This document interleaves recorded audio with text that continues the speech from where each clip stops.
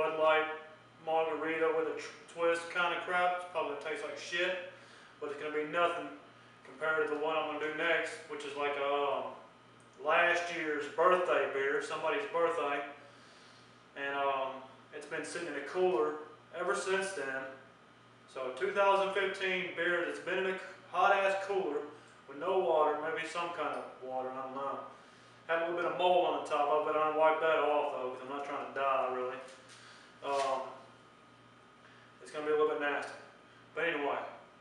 Cranberry. Here we go. I hate you, Bud Light.